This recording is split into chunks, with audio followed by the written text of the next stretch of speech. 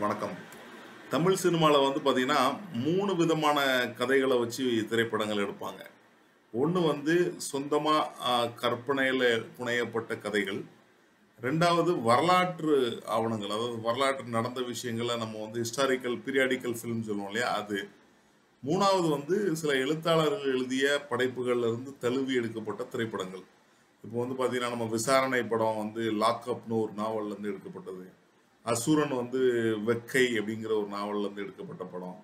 So இப்படியாக பல படங்கள் நம்ம சொல்லலாம். பொன்னியின் செல்வன் கூட அப்படிதான் நம்ம சொல்லணும். ஏன்னா எழுதப்பட்ட ஒரு வரலாறு மற்றும் புனையப்பட்ட கதையிலேருந்து எடுக்கப்பட்ட படம். ஸோ இது வந்து இந்த மூணாவது. இன்னைக்கு நம்ம பார்க்கக்கூடிய படம் என்னன்னு பார்த்தீங்கன்னா அயோத்தி.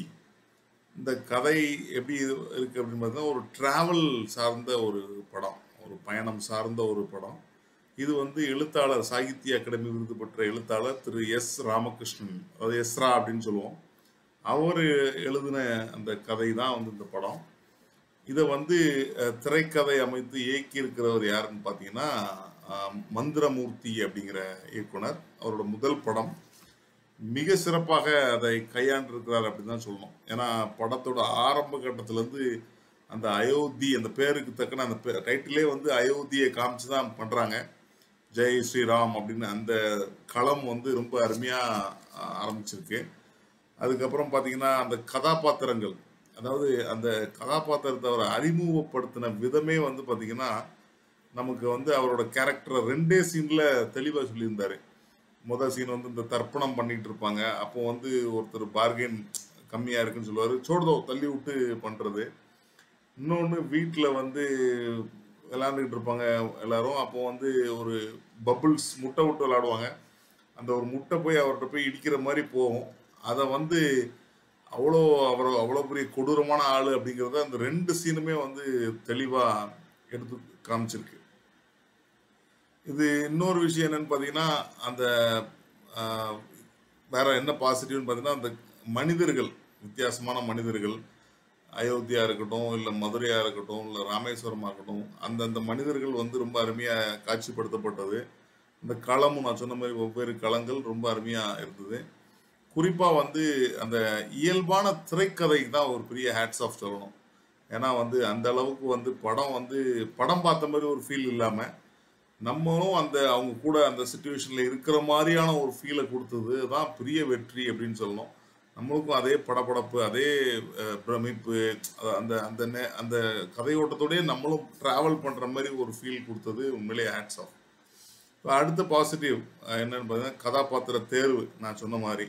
அதாவது ஒரு அயோத்தியாவில் வந்து ஒரு ஒரு குடும்பத்தில் நாலு பேர் ஒரு அப்பா ஒரு அம்மா ஒரு பொண்ணு ஒரு சின்ன பையன்.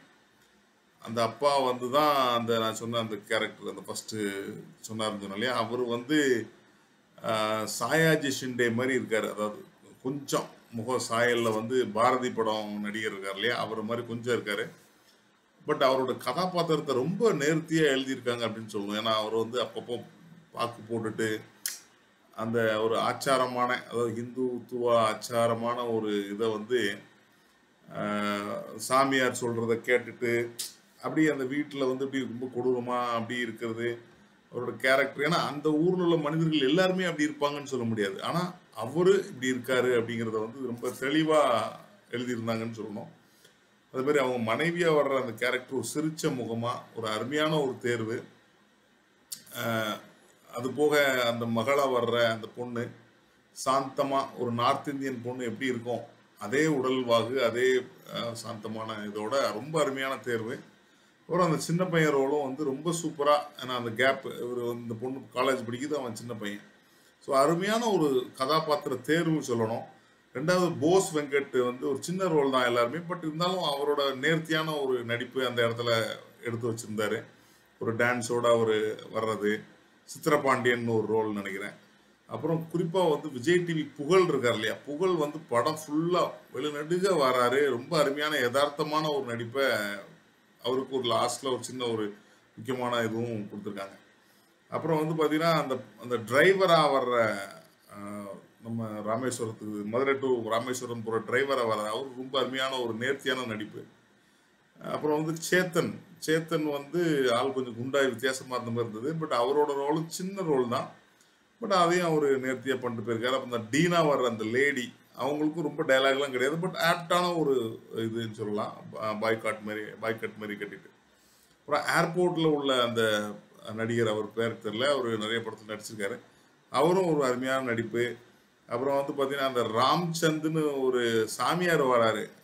அவரோட தேர்வு கூட அந்த இடத்துல கரெக்டாக லைட்டாக காமிச்சா கூட அந்த இடத்துல தெளிவாக இருக்குது அதே மாதிரி பார்த்தீங்கன்னா அந்த புல்லட் ஃப்ரெண்டாக வர்ற அந்த நண்பர் வந்து ரொம்ப சூப்பராக பண்ணியிருந்தாரு அப்புறம் வந்து பார்த்தீங்கன்னா அந்த போலீஸ் இன்ஸ்பெக்டராக நம்ம திருநெல்வேலி பாஷை பேசுகிற அந்த ஆள் இனிகோ மாதிரி இருந்தார். அவர் பார்க்கறது ஒரு பேர் தெரில ஸோ அவரும் வந்து சூப்பராக ஆக்ட் பண்ணியிருந்தாரு அந்த சீனுக்கு அப்படியே சிரிச்சுட்டு அந்த ஒரு பாட்டு டைமில் அப்புறம் அந்த ஏட்டையா வர்றவரும் ரொம்ப அருமையாக யதார்த்தமான அந்த ஏட்டையாமார்கள் கொஞ்சம் எப்படி சொல்கிறது இவங்க வந்து இன்ஸ்பெக்டர்ஸ் கூட சின்ன வயசில் துரு துருன்னு இருப்பாங்க. இவங்க ஒரு மெச்சூரிட்டி காமிப்பாங்க ஏட்டையா அது தெளிவாக இருந்தது அந்த இடத்துல. ஸோ இவங்க எல்லாரும் தான் வந்து ஒரு பாசிட்டிவ்னு சொன்னால் என்னங்க சசிகுமாரை விட்டுட்டீங்க? அப்படின்னு நீங்கள் கேட்குறது எனக்கு புரியுது. சசிகுமாரோட ஒரு எப்படி சொல்கிறது நாடோடிகள் படத்துக்கு அப்புறம் அந்த நாடோடிகள்னாலே நமக்கு ஞாபகம் வருது என்னது அப்படின்னு பார்த்தீங்கன்னா சம்போ சிவ சம்போ அந்த பாட்டு தான் ஞாபகம் வரும். ஜகதன் ஜகடன் ஜகடன் டன் அப்படின்னு போகும் இல்லையா? ஸோ அந்த பாட்டு என்ன எப்படி இருக்கோ அதுதான் அந்த படமே. அந்த அளவுக்கு பரபர பரபரன்னு இருக்கிற ஒரு ரோலு. மனுஷன் வந்து ரொம்ப சூப்பராக கேஷுவலாக கையாண்டிருக்காருன்னு சொல்லலாம். மனிதாபிமானத்துக்கு ஒரு முன்னுதாரணமாக அந்த படத்தில் அவர் இருக்கார். இந்த படத்தில் மட்டும்தான் இருக்காரா அப்படின்னு கேட்டிங்கன்னா இல்லை உண்மையிலேயே அவர் மனிதாபிமானம் உள்ளவர் அப்படிங்கிறத வந்து இயக்குனர் சரவணன் நினைக்கிறேன். அந்த உடன்பிறப்பேன்னு ஒரு படம். அந்த இயக்குனர் வந்து ஒரு பெரிய ஒரு முகநூல் பதிவு போட்டிருந்தார் அவரோட பிறந்தநாள் அன்னைக்கு. எல்லாத்துக்கும் அநியாயத்துக்கு உதவி பண்ணுற நல்ல மனுஷன் அப்படின்னு சொல்லி அது எனக்கு அந்த ஞாபகம் வந்தது. மனிதாபிமானம்னு வரும்போது சசிகுமாரோட ஒரிஜினாலிட்டி வந்தது. உண்மையிலே கண்டிப்பாக ஒரு முக்கியமான ஒரு படமாக அவருக்கு இந்த படம் இருக்கணும். ரொம்ப சூப்பராக நடிச்சிருந்தாரு. படம் ஃபுல்லாகவே நடிச்சிருந்தாருங்கிறத விட அந்த அந்த ரோலுக்கு வந்து நம்ம எல்லா பிடிக்காதவங்க யாருமே இருக்க மாட்டாங்க. அப்படியே அந்த அளவுக்கு அஹ் பட பட ஹெல்ப் பண்ணுற மாதிரி ஒரு ரோலு அடுத்த பாசிட்டிவ் என்னன்னு பார்த்தா இசை.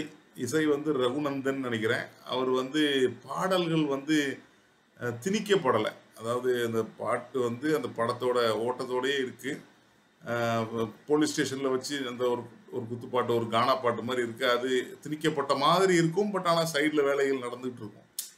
அதனால வந்து நமக்கு அது பெருசாக தெரியாது. அது மாதிரி சில பாடல்கள் வந்து கதை ஓட்டத்தோடயே ஆம்புலன்ஸில் போயிட்டு இருப்பாங்க. அந்த பாட்டு பேக்ரவுண்டில் ஓடிட்டு இருக்கும். அப்படின்னு படம் ஃபுல்லாக பாட்டு பாடல்கள் ரெண்டு மூணு பாட்டு இருக்குன்னு எல்லாமே அப்படி கதை ஓட்டத்துக்கு ரொம்ப உதவி இருக்கு அப்படின்னு தான் சொல்லணும். வெளியே போய் தம் அடிக்கிற மாதிரிலாம் பாட்டெலாம் கிடையாது. ஸோ அது மாதிரி பிஜிஎம் கூட சில இடத்துல கொஞ்சம் பெட்டராக இருந்திருக்கலாமோ அப்படின்னு நம்ம யோசித்தோம் ஆனால் வந்து கடைசியிலலாம் வந்து பார்த்தீங்கன்னா நம்மளை கண்ணீர் வள வர வைக்கிறதுக்கு வந்து அந்த பிஜிஎம் ரொம்ப உதவி பண்ணியிருக்கு. அந்த சீன்ஸை வந்து எலிவேட் பண்ணி கொண்டு போயிருக்கு அப்படிங்கிறப்போ உண்மையிலேயே ஒரு பாராட்டுகள் தான். அடுத்தது வந்து முக்கியமாக நம்ம சொல்ல வேண்டியது கேமரா கேமரா ஒளிப்பதிவாளர் மாதேஷ் மாணிக்கம்னு பேர். அவர் வந்து பார்த்தீங்கன்னா அயோத்தியாவை எப்படி காமிக்கிறாரு? மதுரையோட அழகை வந்து ஏன்னா அந்த படத்தோட இன்னொரு முக்கியமான ஒரு கதாபாத்திரம் என்னன்னு பார்த்தீங்கன்னா தீபாவளியை சொல்லணும். தீபாவளி அன்னைக்கு தான் அந்த படம் நடக்குது ஒரு நாளில். எங்கே பார்த்தாலும் தீபாவளியோட ரெஃபரன்ஸ் இந்த படத்தில் பார்க்கலாம். இப்போ வந்து ஒரு ஹாஸ்பிட்டல் போனீங்கன்னா தீபாவளிக்கு பட்டாசு போட்டு கையில் அடிபட்டுடுச்சுன்னு ஒரு பையன் போகிறான் மார்ச்சுரிக்கு போனால் கூட தீபாவளிக்கு பட்டாசு வாங்கி தரலன்னு ஒரு நைன் நைன் ஒன்பதாவது வயசு பையன் தற்கொலை பண்ணிட்டான்னு சொல்லி மார்ச்சுரி கொண்டு வராங்க. ஸோ அதெல்லாம் வந்து அந்த அந்த அமைப்புகள் காட்சி அமைப்புகள்லாம் ரொம்ப அருமையாக இருந்தது. ஒவ்வொரு ஊருக்கு தகுந்த அந்த ராமே ஃபஸ்ட் எடுத்துனே ராமேஸ்வரத்தில் நம்ம தனுஷ்கோடி அந்த இதை முனையை காமிக்கிறதா இருக்கட்டும் அப்புறம் அந்த கிராமத்து பாட்டிகள் பாம்பட பாட்டிகள் அங்கேருந்து ஓடி வந்து அழுகிறது எல்லாம் பார்க்கும்போது ரொம்ப கேமரா நல்லா ஒர்க் பண்ணியிருக்காங்க அப்படின்னு சொல்லலாம். அடுத்தது பார்த்தீங்கன்னா அந்த நிறைய இடத்துல வந்து நம்ம ரொம்ப ஈஸியாக கடந்து போகிற அந்த காட்சிகள்லாம் ரொம்ப மைனூட்டாக அந்த படத்தில் இருந்தது.